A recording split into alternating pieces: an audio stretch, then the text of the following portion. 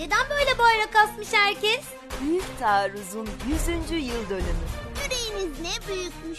Ne kadar kahraman çocuklarmış. Keşke zamanda bir yolculuk yapabilseydik de zaferi nasıl kazandığımızı görebilseydik.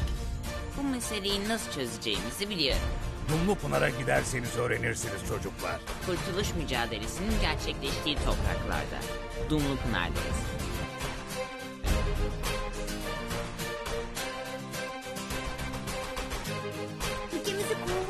çok mücadele etmişler.